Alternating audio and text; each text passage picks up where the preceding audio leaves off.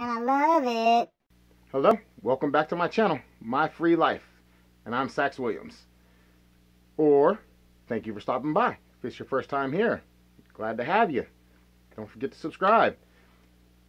So, for anybody who's been keeping up with anything that I do, you know that uh, everything that I'm trying to do is to basically build, design and build a completely mobile power grid.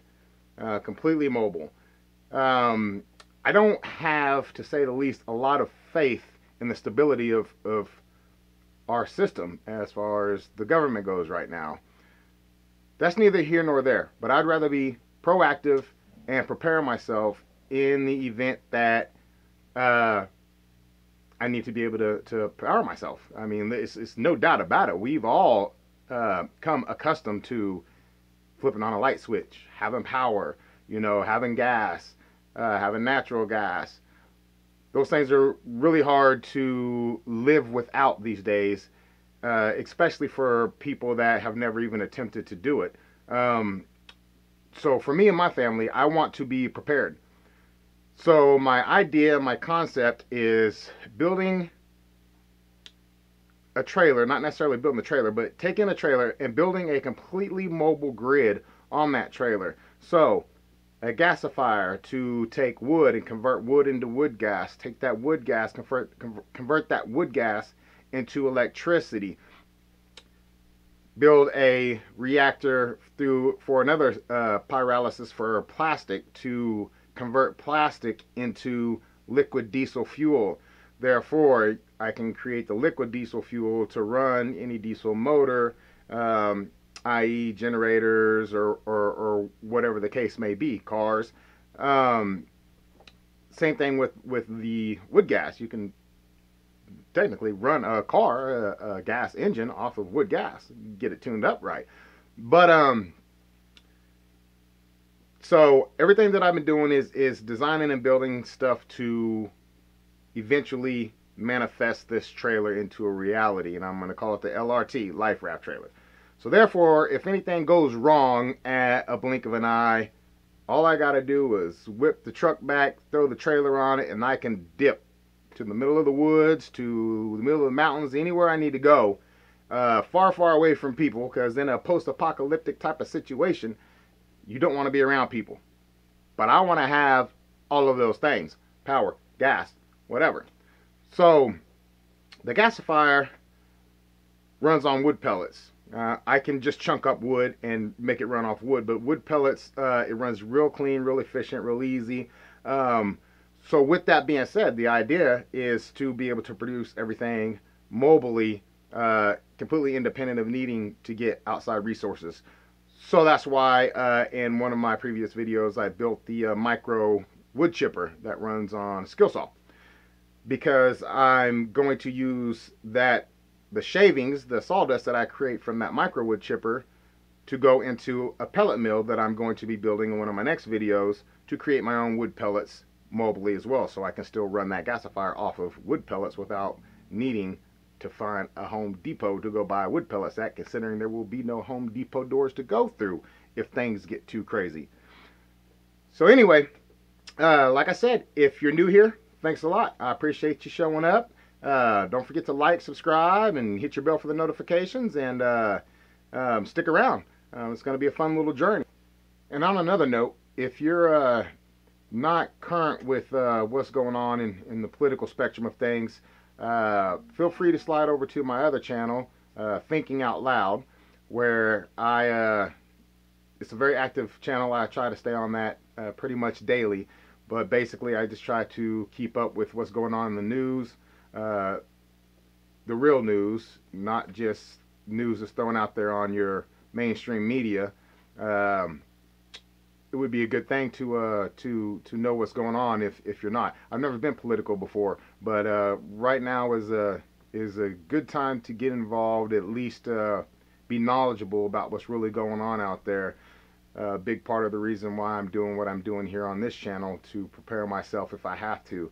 But anyway, I'd like to have you over there as well. Again, uh, that channel is called Thinking Out Loud, and we'll keep politics over there. We won't mix them in with this channel. All right. let's get on into this video. All right, guys and gals, why don't you say we take this old smoker, turn it into a diesel fuel reactor? Sounds like a good idea. Let's strip it on down, find out what we got going on here. I'm gonna remove this smoker box. It's bolted in there. I'm gonna separate that from the rest of the smoker because I'm gonna be pulling all those legs off because I'm actually gonna be turning this tube vertical, welding that door shut so we got a cylinder, up and down, airtight cylinder. And I'll probably end up using this maybe for one of the condensers or something. I don't know. We'll figure that out when we get to it. But right now, we're separating the, uh, the smoker box. Step one complete. Got the smoker box off of there.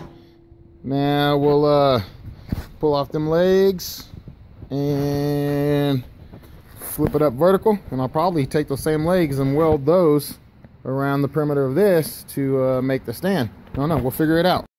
So just for visuals, the idea is we want it setting up vertical like this, uh, where we'll have our gas line coming out. We'll have an airtight feeder port. Gas line will come out, go to condenser one, out of condenser one into condenser two, out of condenser two into uh, fill barrel.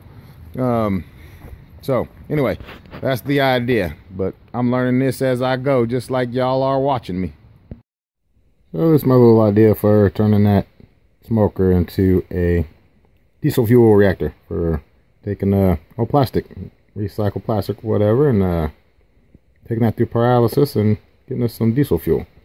So that'll be the smoker. Come up over to the first condenser. Come up out that first condenser down to the second condenser. Out of that second condenser uh, into the third container, which will be uh, just a, a barrel for a holding barrel. So let's see how this works.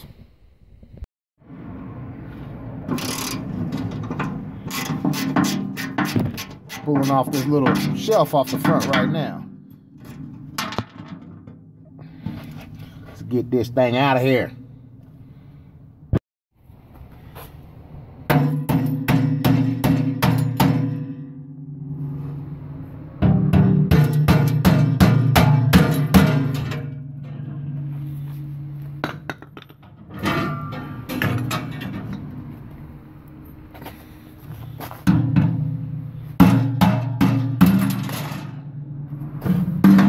Bam!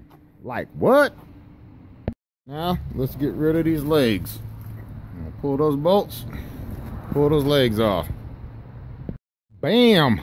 Done. Who's your daddy? Please don't say me. I got enough child support as it is. All right, let's move on to the next step. All right, so I'm gonna try to balance this thing on my uh, hot water tank to my little off-grid rocket stove hot water heater took that apart so I can use that to balance this up on so I can uh, set the level and weld some legs on here and get ready to start building this diesel reactor chamber. All right, let's get it on. I'm gonna be using eighth inch by two inch square steel tubing to make my legs. To go on up there, right there, right there, right there.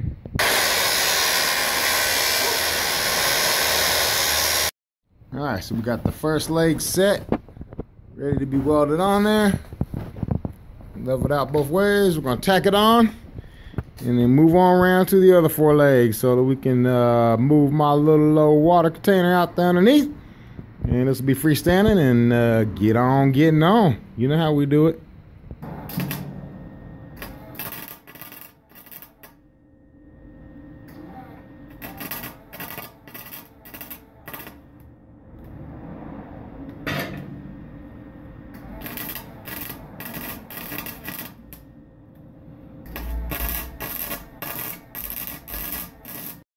All right, so we got the first leg tacked on.